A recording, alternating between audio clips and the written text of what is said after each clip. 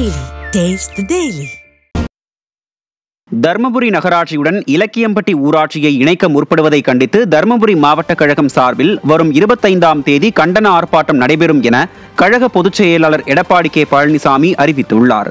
இது தொடர்பாக அவர் வெளியிட்டுள்ள அறிக்கையில் ஸ்டாலின் அரசு ஊராட்சிகளை பேரூராட்சிகள் நகராட்சிகள் மற்றும் மாநகராட்சிகளுடன் இணைப்பதால் நூறு நாள் வேலை திட்டத்தின் கீழ் வழங்கப்படும் நிதி நிறுத்தப்பட்டு இதில் பணிபுரிபவர்களின் வாழ்வாதாரம் பாதிக்கும் என தெரிவித்துள்ளார்.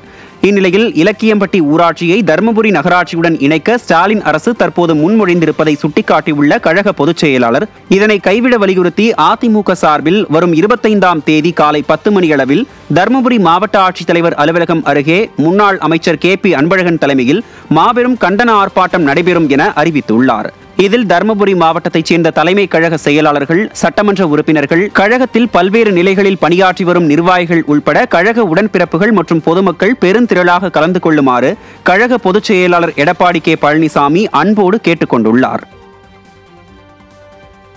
அதிமுகவின் ஐம்பத்து மூன்றாவது ஆண்டு தொடக்க விழாவை முன்னிட்டு காஞ்சிபுரத்தில் கழக பொதுச் செயலாளரும் சட்டமன்ற எதிர்க்கட்சி தலைவருமான எடப்பாடி கே. பழனிசாமி உரையாற்ற உள்ள பொதுக்கூட்டம் வருகின்ற இருபத்தாறாம் தேதி நடைபெறும் என தலைமை கழகம் சார்பில் அறிவிக்கப்பட்டுள்ளது. ஏற்கனவே கடந்த பதினேழாம் தேதி இக்கூட்டம் நடைபெறும் என அறிவிக்கப்பட்டிருந்த நிலையில் அந்த நாளில் கனமழை பெய்யக்கூடும் என இந்திய வானிலை ஆய்வு மையம் எச்சரிக்கை விடுத்த காரணத்தால் பொதுக்கூட்டம் ஒத்திவைக்கப்பட்டது. எனவே வரும் இருபத்தி ஆறாம் தேதி சனிக்கிழமை அன்று அதிமுகவின் ஐம்பத்து மூன்று மூன்றாவது ஆண்டு தொடக்க விழா நடைபெறும் எனவும் அதில் கழக பொதுச் செயலாளர் எடப்பாடி கே. பழனிசாமி உரையாற்றுவார் எனவும் தலைமை கழகம் சார்பில் அறிவிக்கப்பட்டுள்ளது. பாஜகவிற்கும் திமுகவிற்கும் ஒரு எழுதப்படாத ஒப்பந்தம் இருப்பதாக முன்னாள் அமைச்சர் ஜெயக்குமார் தெரிவித்துள்ளார். திருவள்ளூரில் அதிமுக நிர்வாகியின் இல்ல திருமண விழாவில் முன்னாள் அமைச்சர் ஜெயக்குமார் பங்கேற்று மணமக்களுக்கு வாழ்த்து தெரிவித்தார். இதனைத் தொடர்ந்து செய்தியாளர்களை சந்தித்த அவர் பாஜகவிற்கு திமுக ஒரு ஊதுகுழலாக உள்ளது என குற்றம் சாட்டினார். பிஜேபிக்கும் திமுகவுக்கும் வந்து ஒரு எழுதப்படாத ஒப்பந்தம் இருக்குது அது எல்லோருக்கும் தெரிஞ்ச ஒன்று தான் ஏன்னா அது உயர்கல்வித்துறை மா அமைச்சரை மாற்றின விஷயம்.